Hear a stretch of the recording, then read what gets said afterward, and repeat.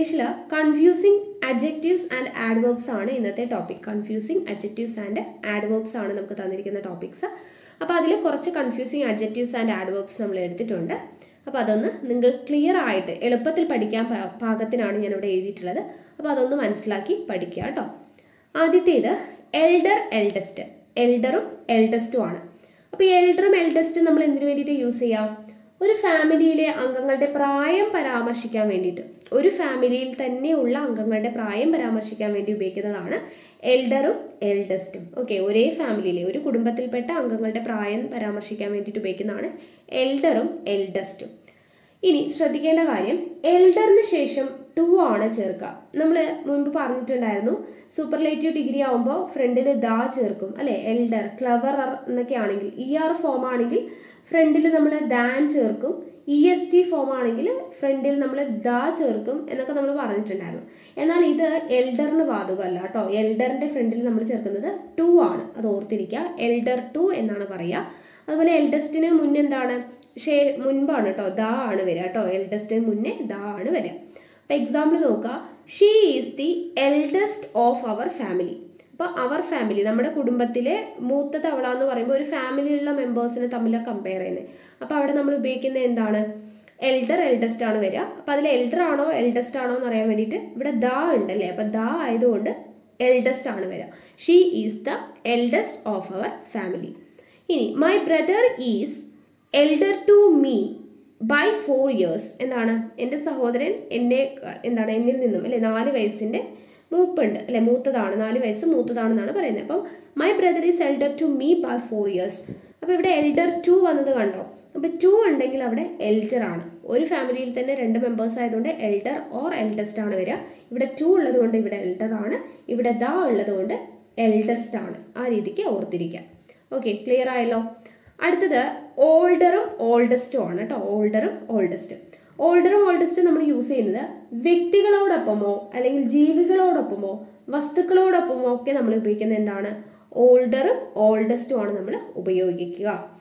അപ്പോൾ ഓൾഡറിന്റെ കൂടെ എപ്പോഴും ദാൻ ആയിരിക്കും ഉണ്ടാവുക. ഓക്കെ എൽഡർ മാത്രമാണ് ശ്രദ്ധിക്കുക. എൽഡറിന്റെ കൂടെ ടു ആണ് വരിക. ഓൾഡറിന്റെ കൂടെ എന്താണ്? ദാൻ ആണ്. ഓൾഡസ്റ്റ് എന്ന് പറയുമ്പോൾ ഫ്രണ്ടിൽ ദാ ഉണ്ടാവും. ദ ഓൾഡസ്റ്റ് അല്ലേ? അങ്ങനെയാണ് വരിക. എക്സാമ്പിൾ നോക്കുക. Reena is older than her friend Reena എന്താണ് ഫ്രണ്ടിനേക്കാളും ഓൾഡർ ആണെന്ന് പറയുമ്പോൾ Reena is older than her friend അപ്പോൾ ഇവിടെ ദാൻ ആണ് അല്ലേ? അപ്പോൾ ഇവിടെ ഓൾഡർ എടുക്കും. അപ്പോൾ ഒരു ഫാമിലിയിലല്ലാതെ വ്യത്യസ്തമായിട്ടുള്ള ഫാമിലിയിലുള്ള മെമ്പേഴ്സ് ഓക്കെ അങ്ങനെയുള്ള വ്യക്തികളെ തമ്മിലോ അല്ലെങ്കിൽ ജീവികളെ തമ്മിലോ അല്ലെങ്കിൽ വസ്തുക്കളെ തമ്മിലോ കമ്പയർ ചെയ്യുമ്പോൾ ഉപയോഗിക്കുന്നതാണ് ഓൾഡർ അല്ലെങ്കിൽ ഓൾഡസ്റ്റ് അപ്പോൾ Reena is older than her friend ഇനി this is the oldest animal in the zoo ഇപ്പം എന്താണ്? ദിസ് ഈസ് ദ ഓൾഡസ്റ്റ് ഇവിടെ ദാ ഉണ്ട്. അല്ലേ? ദാ വന്നപ്പോൾ ഓൾഡസ്റ്റ് വന്നു. ദാൻ വന്നപ്പോൾ എന്ത് വന്നു? ഓൾഡർ വന്നു. ഓക്കെ ക്ലിയർ ആയല്ലോ? അടുത്തത് ലിറ്റിൽ ഫ്യൂ ലിറ്റിൽ ഫ്യൂ രണ്ടിന്റെയും അർത്ഥം എന്താണ്? ഇല്ല എന്നുള്ള അർത്ഥമാണ്. ലിറ്റിൽ എന്ന് വെച്ചാലും ഇല്ല എന്നാണ്. ഫ്യൂ എന്ന് വെച്ചാലും ഇല്ല എന്നാണ്. പക്ഷെ നമ്മൾ യൂസ് ചെയ്യുമ്പോൾ ലിറ്റിൽ എന്ന് പറയുന്നത് അൺകൗണ്ടബിളുടെ കൂടെയും ഫ്യൂ എന്ന് പറയുന്നത് കൗണ്ടബിളിന്റെ കൂടെയുമാണ് ഉപയോഗിക്കുക. രണ്ടിനും നെഗറ്റീവ് മീനിങ് ആണ് ഇല്ല എന്നുള്ള മീനിങ് ആണ്. പക്ഷെ നമ്മൾ ലിറ്റിൽ ഉപയോഗിക്കുന്നത് അൺകൗണ്ടബിൾ എണ്ണാൻ കഴിയാത്തതിന്റെ കൂടെയും. ഫ്യൂ ഉപയോഗിക്കുന്നത് കൗണ്ടബിൾ എണ്ണാൻ കഴിയുന്നതിന്റെ കൂടെയാണ്. ഫോർ എക്സാമ്പിൾ നോക്കുക. There was little milk in the bottle there was little milk in the bottle എന്ന് പറഞ്ഞാൽ എന്താണ്? ബോട്ടിലിൽ മിൽക്ക് ഇല്ല എന്നുള്ള മീനിങ് ആണ്. There was little milk in the bottle milk ഇല്ല എന്നാണ് അർത്ഥം. അപ്പോൾ ലിറ്റിലാണ് വരുന്നത്. ഇനി മിൽക്ക് അപ്പൊ ഇവിടെ ലിറ്റിൽ വരാൻ കാരണം എന്താ? മിൽക്ക് എന്ന് പറയുന്നത് എന്താണ്? കൗണ്ടബിൾ ആണോ?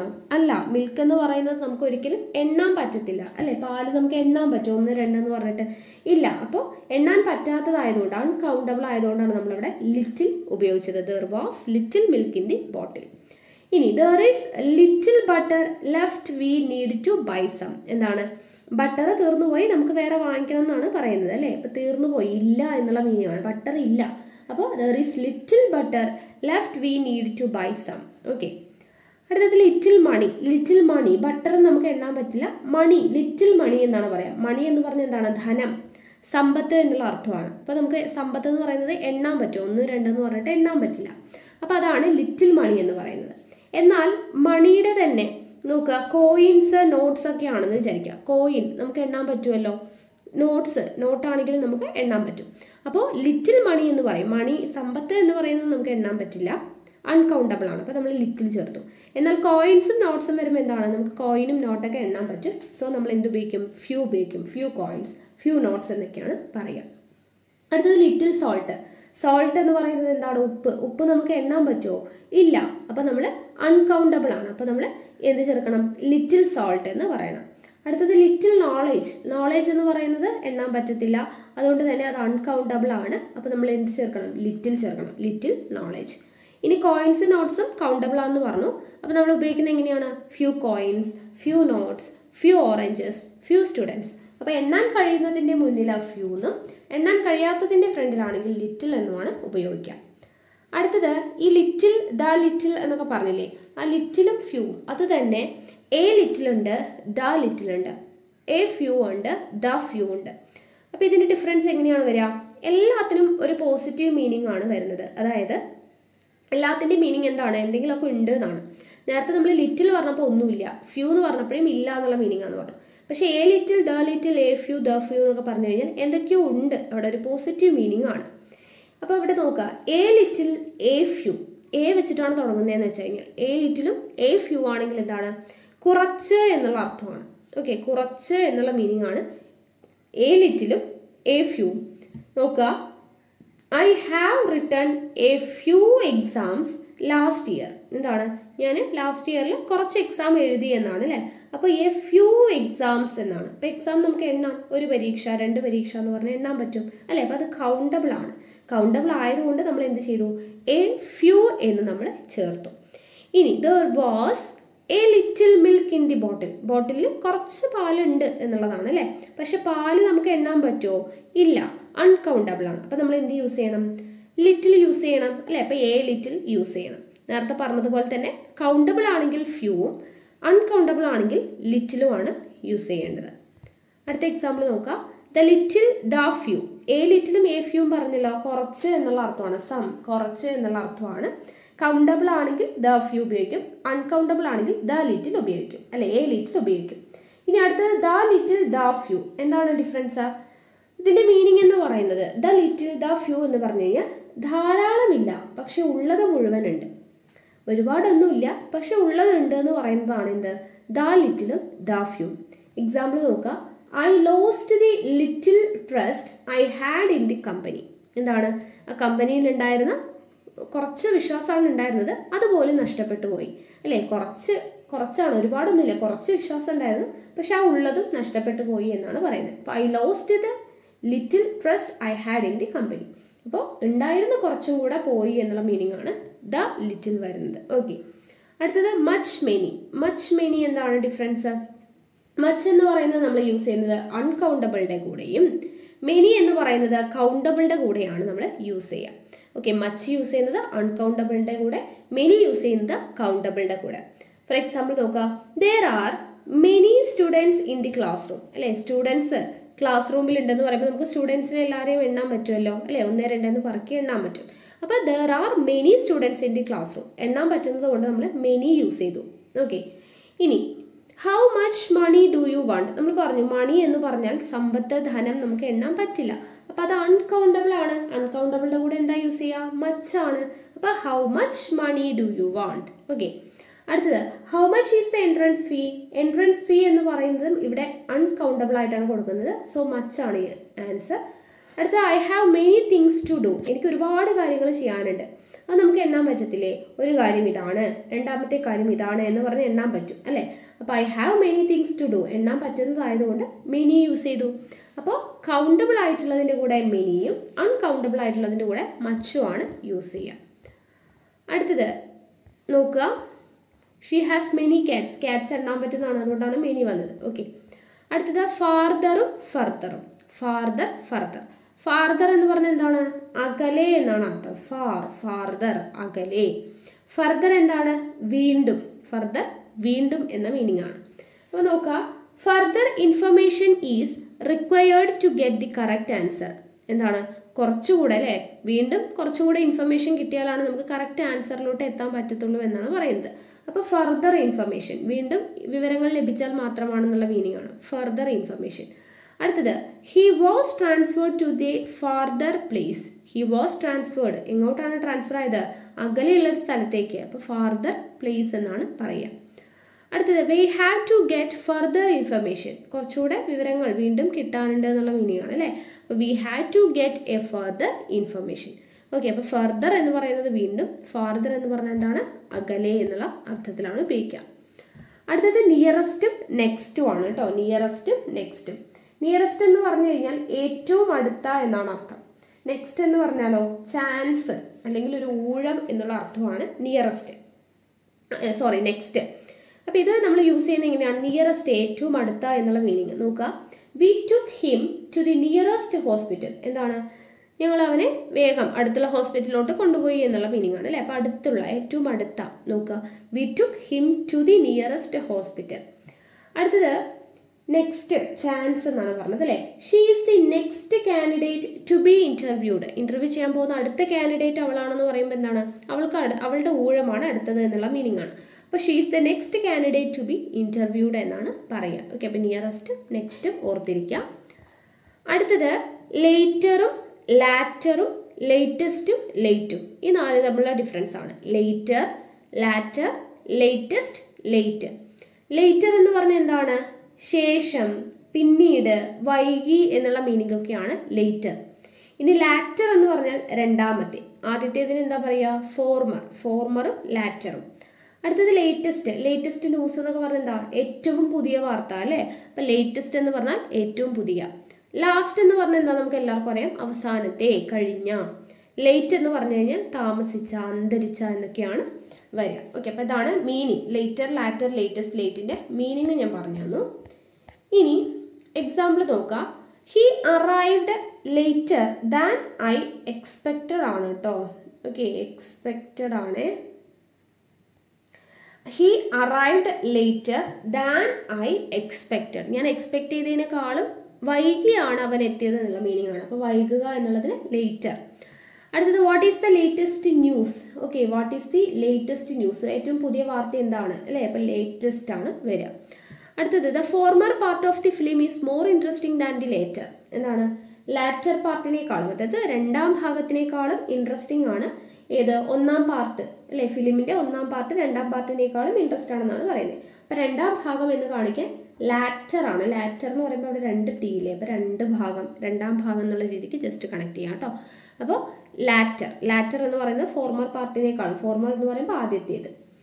അടുത്തത് this is the last chance for you എന്താണ്? നിനക്കിത് അവസാനത്തെ ചാൻസ് ആണ് അല്ലേ? അവസാനത്തെ.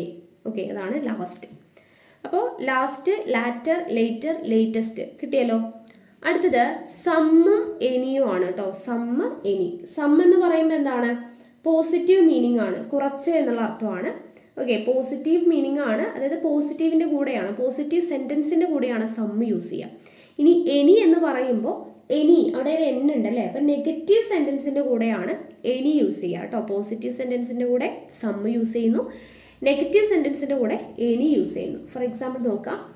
He didn't have any money with her അപ്പോൾ ഇവിടെ ഡിഡിന്റ് ഹാവ് എന്ന് പറയുമ്പോൾ ഇവിടെ നെഗറ്റീവ് സെന്റൻസ് ആണ്. നെഗറ്റീവ് ആയതുകൊണ്ട് തന്നെ ഇവിടെ എനി ആണ് യൂസ് ചെയ്യേണ്ടത്. I don't want any help from you അവിടെയും എന്താണ്? നെഗറ്റീവ് ആണ്. I don't want any help from you എന്നാണ്. സഹായം വേണ്ട എന്ന് പറയുമ്പോൾ അത് നെഗറ്റീവ് സെന്റൻസ് ആണ്. സോ നമ്മൾ എന്ത് യൂസ് ചെയ്തു? എനി യൂസ് ചെയ്തു. ഇനി ഐ വാണ്ട് സം മണി എനിക്ക് കുറച്ച് പൈസ വേണം എന്ന് പറയുമ്പോൾ അത് ഒരു പോസിറ്റീവ് സെന്റൻസ് ആണ്. So I want some money എന്ന് നമ്മൾ ചേർത്തു. അല്ലേ? പോസിറ്റീവ് സെന്റൻസ് ആയതുകൊണ്ട് സമ്മ ചേർത്തു. നെഗറ്റീവ് വരുമ്പോൾ നമ്മൾ എന്ത് ചേർക്കും. എനി ചേർക്കും. ഓക്കെ അപ്പോൾ ഇത്രയാണ് confusions of adjectives and adverbs എന്ന് പറയുന്നത്. മെയിനായിട്ട് നമുക്ക് പഠിക്കേണ്ടത്. അടുത്തത് നമുക്ക് മലയാളമാണ്. മലയാളത്തിൽ നമുക്ക് പഠിക്കേണ്ടത് ഒറ്റപ്പദമാണ് ഇന്ന് പഠിക്കാൻ തന്നിട്ടുള്ള ടോപ്പിക് എന്ന് പറയുന്നത്. അപ്പോൾ ഒറ്റപ്പദത്തിൽ മുൻവർഷങ്ങളിൽ റിപ്പീറ്റ് ചെയ്ത് ചോദിച്ചിട്ടുള്ള കുറച്ച് ഒറ്റപ്പദങ്ങൾ ഞാനിവിടെ എടുത്തിട്ടുണ്ട്. അത് എന്തായാലും നിങ്ങൾ പഠിച്ചിട്ട് പോവാം ഓക്കെ അപ്പോൾ നമുക്ക് നോക്കാം. ആദ്യത്തേത് ലൗകികം. ലൗകികം എന്താണ്? ലോകത്തെ സംബന്ധിച്ചതാണ് ലൗകികം. ലൗകികം ലോകത്തെ സംബന്ധിച്ചത്. ആർഷം. ആർഷം ഋഷിയെ സംബന്ധിച്ചതാണ് ആർഷം. ഇതെല്ലാം മുൻവർഷങ്ങളിൽ ചോദിച്ചതാണ്. ലോകത്തെ സംബന്ധിച്ചത് ലൗകികം. ഋഷിയെ സംബന്ധിച്ചത് ആർഷം. അടുത്തത് കർമ്മങ്ങളിൽ മുഴുകിയവനാണ് കർമ്മനിരതൻ. കർമ്മങ്ങളിൽ മുഴുകിയവനാണ് കർമ്മനിരതൻ. ഉണർന്നിരിക്കുന്ന അവസ്ഥ ജാഗരം.